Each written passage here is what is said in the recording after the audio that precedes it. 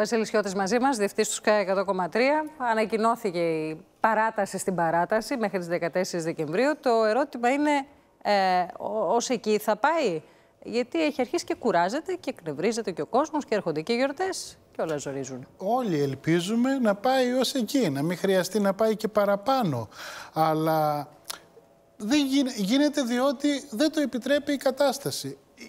Το γεγονός ότι ανοίγουν τα εποχικά είναι ένα σήμα ότι η, η πολιτεία μελετά να ανοίξουν κάποια πράγματα. Και πρέπει να σου πω ότι αυτά τα εποχικά μαγαζάκια που θα ανοίξουν από τη Δευτέρα Ασία είναι και ένα crash test για το αν μπορούμε να συμπεριφερθούμε όρημα όταν δούμε ανοιχτά μαγαζιά. Δηλαδή θέλω να πω ότι τα εποχικά είναι μικρά μαγαζάκια που μπορεί με τάξη ναι, κάποιος και είναι και μερικές εκατοντάδες, δεν είναι πολλά. Ναι, αν δούμε τώρα έξω από τα εποχικά κόσμο και λαό να περιμένει σε ουρές, και αυτό θα προβληματίσει την κυβέρνηση και θα πρέπει να το γνωρίζουμε. Εντάξει, εδώ έχουν και ευθύνη βεβαίως οι καταστηματάρχες να τα λειτουργήσουν σωστά, τα μαγαζιά και ο κόσμος βεβαίως να κρατάει τις αποστάσεις. Γιατί γενικ... κόσμος θα υπάρχει. Δεν, ε, δεν μπορεί να μην υπάρχει. Και πρέπει να πούμε ότι γενικώς είμαστε σε μια φάση που συγκρούονται δύο κόσμοι συγκρούεται ο κόσμος των επιστημόνων που λέει παιδιά δεν είμαστε έτοιμοι, δεν είμαστε σε φάση να ανοίξουμε.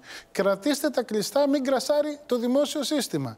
Και υπάρχει και ο άλλος κόσμος, ο κόσμος της αγοράς που λέει αν δεν ανοίξουμε τώρα καταστραφήκαμε. Ναι. Μπορεί και να μην ανοίξουν στις 14 δηλαδή τα μαγαζιά λιανικού εμπορίου. Θέλω να πιστεύω ότι θα ανοίξουν, ναι. αλλά αυτό θα κρυθεί στο τέλος της άλλης εβδομάδας. Για τα σχολεία έχει κρυθεί. Ναι, πρέπει να το πάρουμε απόφαση ότι ορισμένα πράγματα δεν θα τα δούμε στο Δεκέμβριο. Ναι, είναι, θα δούμε είναι όμως μια δύσκολη απόφαση. Θέλω να πω ότι υπάρχει το ερώτημα από πολλούς γονείς, γιατί δεν έγινε μια προσπάθεια να κρατηθούν με κάποια μέτρα, με κλιμακωτό σχόλασμα, ας πούμε, ε, των παιδιών, εφόσον το θέμα ήταν οι συνοστισμοί των γονιών, να κρατηθούν ανοιχτά τα σχολεία. Είναι η μοναδική ε, ε, πληθυσμιακή ομάδα που δεν κινδυνεύει και δεν μεταδίδει τον κορονοϊό και αυτή κλείστηκε μέσα. Ναι, έχει απαντηθεί.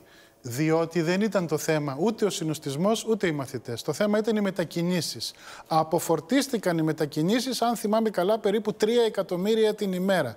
Και επειδή ακριβώς άλλα πράγματα δεν έγιναν νωρίς, έχεις δίκιο, θα μπορούσε να γίνει, αλλά επειδή δεν έγιναν νωρίς, έπρεπε να υπάρξει το lockdown. Τώρα, λοιπόν, αυτά που είπες ότι θα ανοίξουν, θα ανοίξουν οριζόντια σε όλη τη χώρα; Καταρχάς, να πούμε, ανοίξουν όταν να ανοίξουν. πούμε τι δεν θα ανοίξει. Εκτός από τα σχολεία, δεν θα ανοίξει η εστίαση, δεν θα ανοίξουν τα καφέ, δεν θα υπάρξουν μετακινήσεις από νομό σε νομό.